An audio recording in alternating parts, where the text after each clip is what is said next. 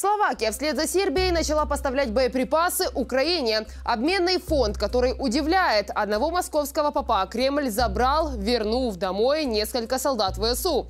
Северная Корея отправляет своих людей в Донецк. И почему эмодзи в России могут стать под запретом? Это новости сегодня. С вами Карина Клышун. Приветствую вас. Еще один нож в спину Путину подарил президент ранее дружественной для РФ Словакии. Страна взялась за поставку оружия Украине. О подготовке снарядов для украинской артиллерии рассказал президент страны Петер Пелегрини. Также он напомнил, что Словакия еще и поставляет в Украину электроэнергию, чтобы восполнить дефицит из-за обстрелов России украинских ТЭЦ. Ранее на этой неделе выяснилось, что и дружественная для РФ Сербия целых два года поставляет Украине боеприпасы боеприпасы и оружие. Путин с каждым днем лишается друзей и поддержки. А первая партия снарядов, которые партнеры обязались предоставить ВСУ по так называемой чешской инициативе, уже в Украине. Об этом заявил премьер-министр Чехии. О каком количестве и калибрах идет речь, как эта поставка способна улучшить положение ВСУ и как вообще сейчас обстоят дела со снарядами, колоссальный дефицит которых ощущался до последнего времени. Расскажем об этом далее в сюжете.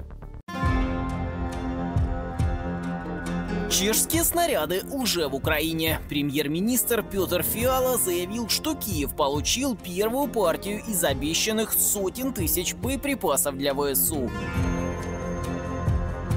Деталей поставки в целях безопасности крайне мало. Неизвестно ни время передачи, ни количество снарядов. Однако ранее сообщалось, что партии будут от 50 до 100 тысяч боеприпасов ежемесячно. Это десятки тысяч снарядов. Пока о сотнях тысяч речь не идет. В свою очередь эксперты отмечают, что эту партию Киев должен был получить еще в конце мая задержка в месяц имела достаточно серьезные последствия для сил обороны Украины. Оккупанты использовали так называемое окно возможностей. Однако дело тут не в желании затягивать поставки. Партнеры, уверяют аналитики, делали все, что было в их силах, равно как и те, против кого снаряды готовились.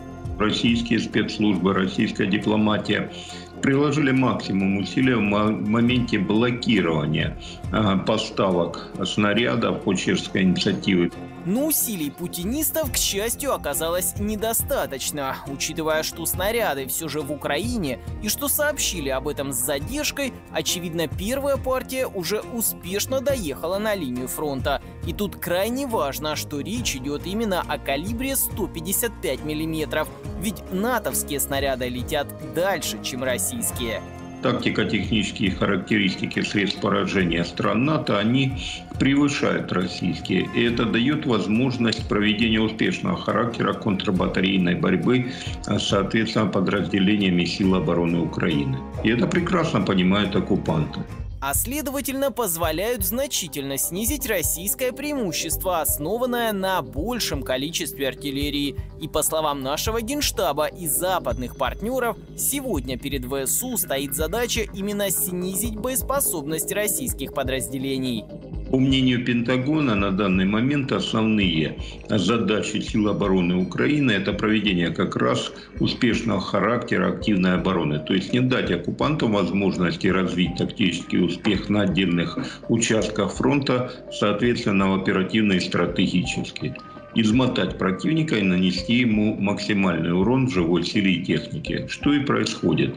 Определенные успехи, связанные с получением десятков тысяч снарядов по чешской инициативе, уже заметны на фронте, говорят аналитики. Общее же количество обещанных снарядов минимум 800 тысяч, а учитывая их большую дальность, лучшую прицельность огня как орудий, так и боеприпасов и сопутствующие программы военной поддержки Украины, можно говорить, что с таким количеством снарядов российскому наступлению в этом году точно точно ничего не светит. Возможности самой российской ВПК – это выпуск снарядов ну, порядка миллиона-полтора. То есть можем говорить о том, что если придут, соответственно, э, артиллерийские снаряды в количестве 800 тысяч, это даст возможность говорить о возможном паритете средств поражения, именно интенсивности артиллерийского огня. На данный момент потери личного состава и техники в основном 80% это как раз от применения средств поражения, в первую очередь артиллерийского огня. Так что, очевидно, потери оккупантов будут только расти. Ведь уже сегодня ежедневно уничтожаются десятки единиц техники и стабильно более тысячи россиян на линии фронта.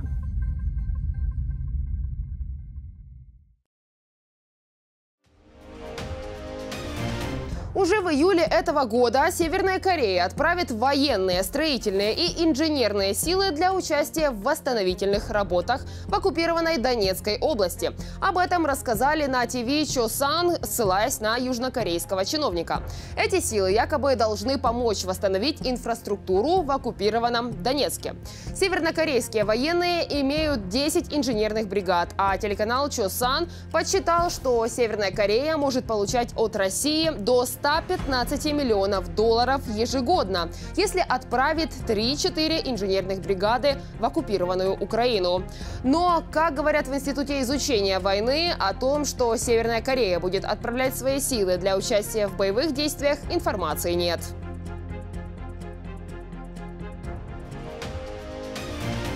ВСУ испытывают экспериментальную американскую легковую 105-миллиметровую САУ. Эта техника даже еще в США находится на испытаниях.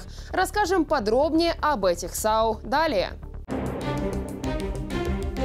Вооруженные силы Украины могут похвастаться очередной военной обновкой от наших союзников. Так, как стало известно накануне, ВСУ уже активно используют на поле боя экспериментальную американскую легкую 105-миллиметровую САУ. Я расскажу вам о недавнем опыте. Мы недавно поставили систему 105-миллиметровую САУ в Украину. Мы отправили ее 26 апреля в Украину и в течение двух недель обучали ею пользоваться, после чего ВСУ сразу же приступили к тестированию. Интересный факт. Американская корпорация I'm General, владеющая технологией, без каких-либо анонсов поставила в Украину свою новую разработку даже раньше, чем экспериментальное оружие попало в руки военных из США. Это э, решение устраивает э, э, две стороны, как украинскую, так и, соответственно, американскую. Это экспериментальная САУ, она была создана в 2019 году, и, соответственно, в 2021 году армия Соединенных Штатов выдала контракт на производство данного вида вооружений. На первый взгляд может показаться, что новая американская САУ ничем не примечательна. Это очередной Франкенштейн, как принято сейчас говорить. По факту американцы скрестили два вида вооружения, поставив пушки М-20 калибром 105 мм на шасси от Хаммера. Но на деле все гораздо сложнее. Новое американское оружие обладает уникальной технологией мягкой отдачи SRT которая позволяет внедорожнику не рассыпаться после первой же очереди из САУ. Эта система предназначена быть одной из первых систем с мягкой отдачей в бою, поэтому она движется очень быстро. В два сети Хоуки нет ничего особенного. Она сразу же пойдет в бой для испытаний на живых целях. Это надежная САУ. Это, в принципе, аналог тех же Цезаря либо Богдан. Данная САУ э, использует современную цифровую систему управления огнем. То есть основные преимущества данной системы – это высокая мобильность и, соответственно, скорострельность.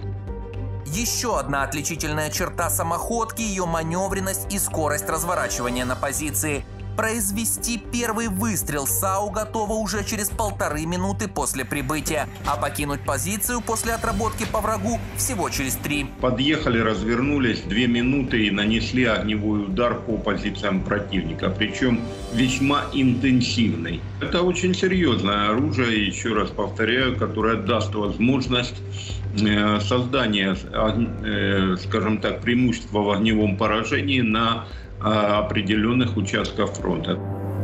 Отличается американская САУ и высокой точностью. 105-миллиметровая арт-система готова делать по 8 выстрелов в минуту на расстояние до 12 километров. Весьма показательно то, что не случайно э, испытания тактико-технических характеристик данной САУ в условиях боевых действий непосредственно на территории Украины. То есть э, для американского ВПК это уникальная возможность проведения тестирования в условиях реальных боевых действий. Для украинских же военных это тоже уникальный опыт. Наши защитники на сегодня единственные, кто умеет управляться с американской САУ. И ходят слухи, делают это виртуозно. В рамках недавнего обмена пленными между Украиной и РФ Киев выдал Москве митрополита, вместо которого удалось вызволить нескольких украинских защитников. Есть информация, что о таком обмене просил лично так называемый глава РПЦ Кирилл Гундяев. Каковы перспективы таких обменов в дальнейшем с учетом большого количества уже выявленных и привлеченных к ответственности в Украине агентов Кремля в рясах? Об этом расскажут вам мои коллеги. Прецедент в истории Украины. Впервые в рамках обмена военнопленными был обменен священник православной церкви Московского патриархата. Речь идет о митрополите Тульчинском и Братславском Иоаннафане. Напомним, с обысками в епархию православной церкви Московского патриархата Винницкой области СБУ наведалась в октябре 2022 года. Тогда у Иоаннафана нашли стандартный набор пророссийского пропагандиста. Агитки с лозунгами «Донбасс – это Россия», призывами признать так называемые ЛНР и ДНР молитвы за Путина. Работы по нейтрализации угроз государственной безопасности, следствие установило, что даже после начала полномасштабного вторжения оккупационных войск в Украину священнослужитель поддерживал политику Кремля и поощрял действия РФ. Митрополит на собственном интернет-ресурсе размещал публикации, которые содержат призывы к разжиганию межконфессионной вражды. Уже в августе 2023 года Винницкий городской суд вынес приговор Иоаннафану – 5 лет с конфискацией имущества. Про то, что утром 25 июня митрополита привезли на границу с Беларусью и передали российской стороне, сообщило издание LBUA, хотя ранее Иоаннафан якобы отказался от обмена. На границе Ионафана встречал священнослужитель РПЦ Николай Балашов – по словам источника, ценность Елецких в том, что он пошел на обмен сразу нескольких военнопленных украинских защитников, которые находились в России. Также митрополита конкретно хотела забрать российская сторона. К слову, от патриарха РПЦ Кирилла Гундяева пришло официальное обращение. И вот новость подтвердили сами россияне. В соцсетях РПЦ появилось видео, где Кирилл приветствует Иоанна Фана. Он несколько раз подчеркивает, что тот был в физическом и духовном плену. И вот, наконец, на свободе. Экс-пленника просит не кланяться. За свою верность патриарху Русской Православной Церкви, за неготовность идти на компромиссы, граничащие с предательством, Владыка претерпел скорби значительные. И поскольку для меня это не только, как говорится, долг патриарха, но еще и был личный долг вмешаться в ситуацию с тем, чтобы просто вытащить владыку из этих грозных и непредсказуемых по последствиям обстоятельств. С владыкой я знаком десятки лет, будучи ректором Академии он был студентом моим. По данным украинских журналистов, чтобы обменять Иоаннафана, патриарх Кирилл даже обращался к Папе Римскому. С Иоаннафаном патриарха РПЦ связывают давние отношения. Митрополит Тульчинский и Братславский, известный в миру как Анатолий Елецких, родом из России. Его отец – офицер запаса, мать – директор дома послевоенных детей-сирот оба орденоносные ветераны Второй мировой. Детство Иоаннафана прошло в Североморске, где служил отец, а после, с его переводом по службе, вся семья переехала в Киев. Сам Иоаннафан окончил Ленинградскую духовную семинарию и академию, был однокрупником Кирилла. В конце 80-х вернулся в Киев. В 1988 году был назначен первым наместником Киева-Печерской лавры, из которой уволен со скандалом за исчезновение ценных вещей.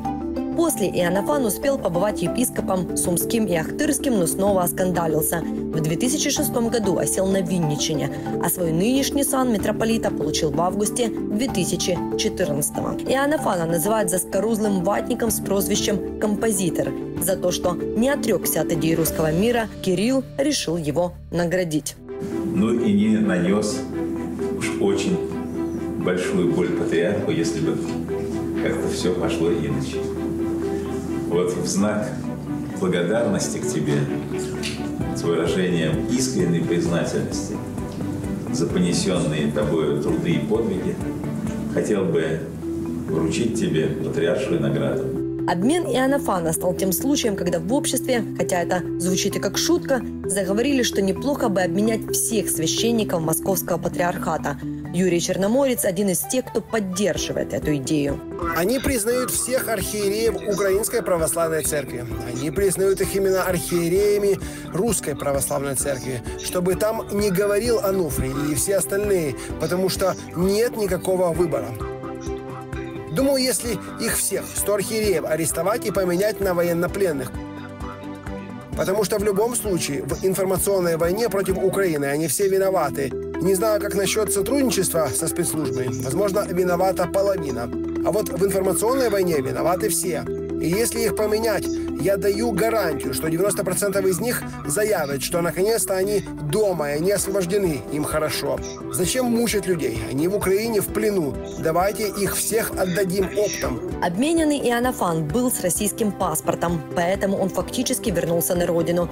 В Украинской православной церкви Московского патриархата, служители которой делают вид, что держат дистанцию от Москвы, случившееся никак не комментируют.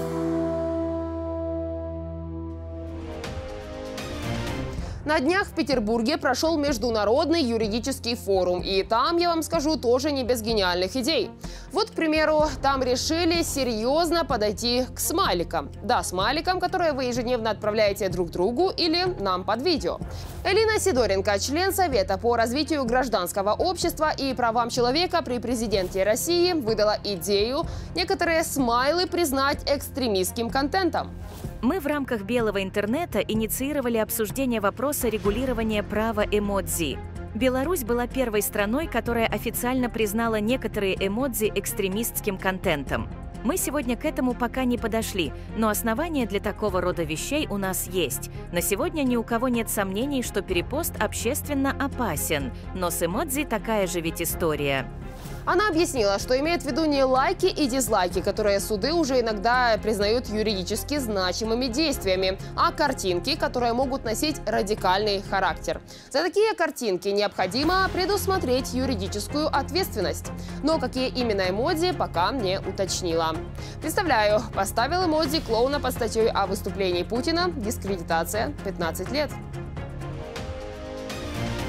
Это были новости сегодня, но я с вами не прощаюсь. Уже через пару часов в программе «В тренде» я расскажу вам о том, как жители Таджикистана начинают устанавливать свои правила ПДР в России, как пропагандисты жалуются на ВСУ, а развод теперь будет под запретом. До встречи!